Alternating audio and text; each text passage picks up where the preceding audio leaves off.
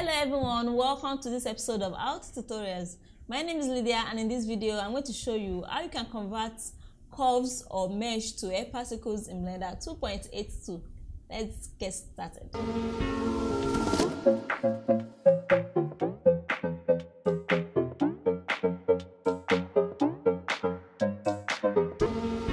We'll be using this character for this tutorial. I'm going to convert one of our braid to this particular one here I'm going to convert it to air particle. This is actually make, made up of curves so I'm going to convert this to air particles. Then let me hide this. Let me show this.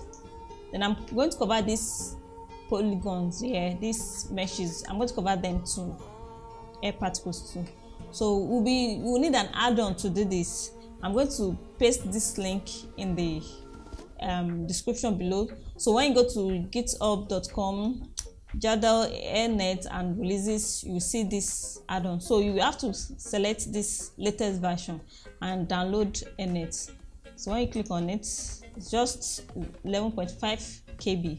So when you have this, you go to your software, then you install it. Mine is already installed here. So just check it and activate so when you do that you see this option here at the side hnet that's the nnet um, panel. So we'll need it.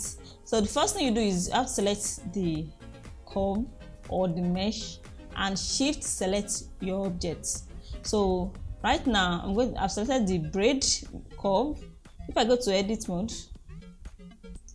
if i go to edit mode you see that this is a curve I just add a bevel thickness to it so if I select the curve and shift select the body if I click on add air from curve I'm going to get this error. The reason why I did this because I wanted to show you. So let me undo.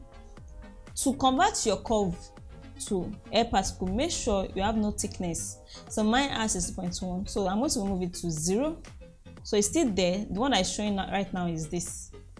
So that's what i'm showing. So the air particle is actually still there this curve the sorry the curve part the curve is still there.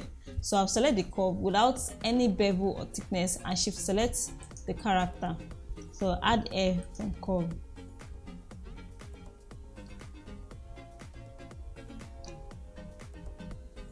So i have this. This is still not looking great for now. So let me go to the air settings. Then under simple. I'm going to reduce the radius then bump up the viewport display from 2 to 7 so we have this. So another thing i can see you see that this air is a little bit lower than the actual air itself. So before you convert to air air particle you have to make sure you freeze the um your transform. So you click on Control A and alt transform.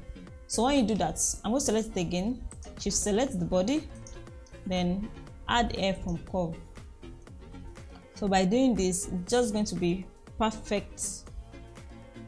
So now if I reduce the if I increase the parts from 2 to 7 then reduce the radius I'm going to hide this for now. So you can see what we're doing. Reduce the radius.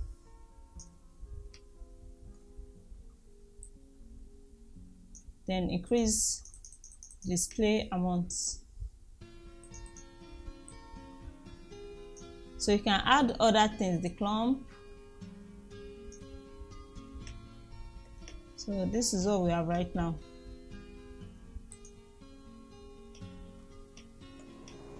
let me just increase the display amount let's say 30 well let me add a material to this. Come here and click on air mats so i have this. Let me increase for the render let me increase this to 7 too.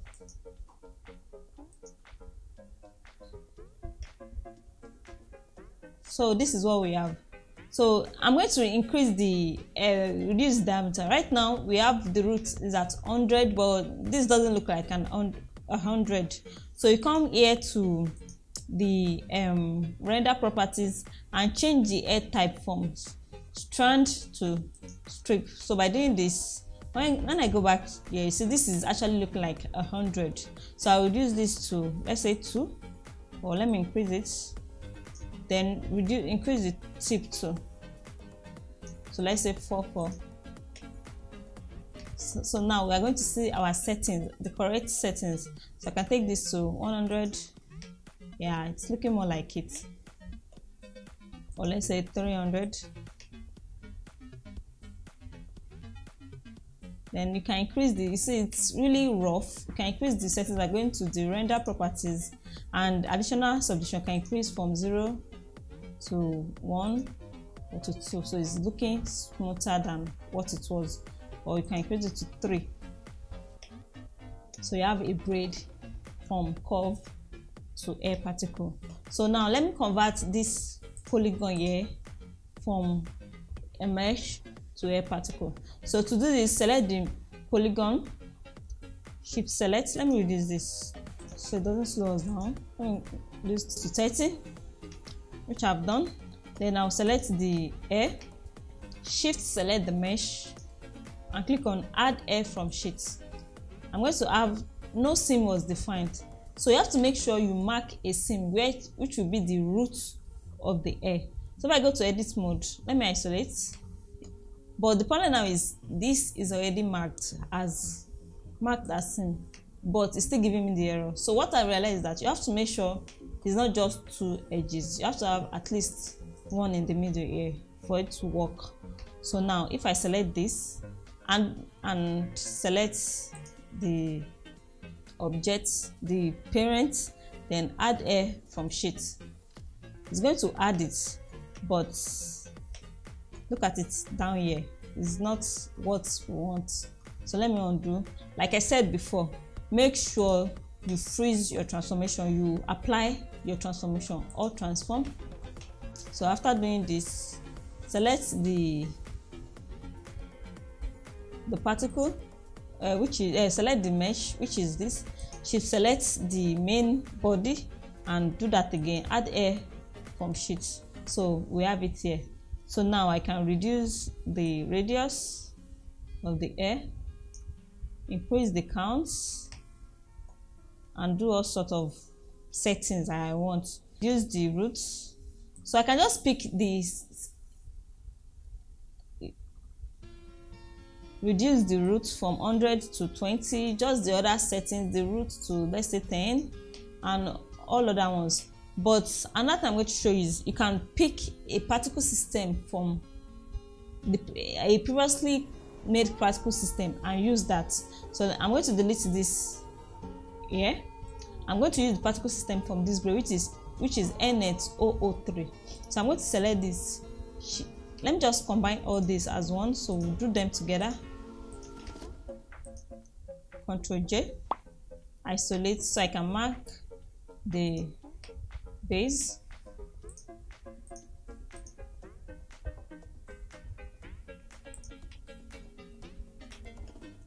Then shift select the body, add air from sheets. Oh, I didn't apply. Sorry. Shift A or transformation, then shift select. So add there from sheets. So before doing this i can always select another a particular um, system before i actually create it. So let me undo. Then down here i'm going to click on nnet 03 which was from the previous one that we made so it's going to use this. And you can add subdivision to your um, polygon. But i'm going to leave mine the way it is and shift select the air so i will click on add air from sheets. So by doing this you see that it copied the settings from the previously made air particle. So you can do instead of creating from scratch you can just create from the previous one.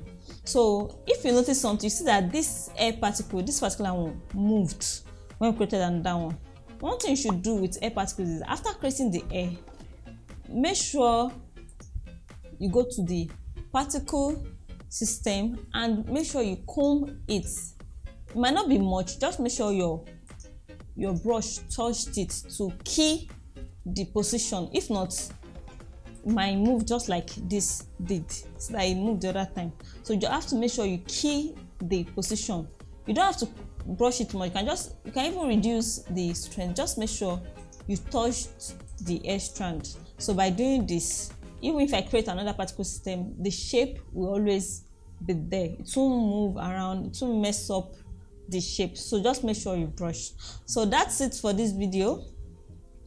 Thank you for watching. Don't forget to like the video. Subscribe to our channel if you've not done so. Click on the notification bell to get notified every time we upload videos like this. And until next time stay true to your creativity. Bye bye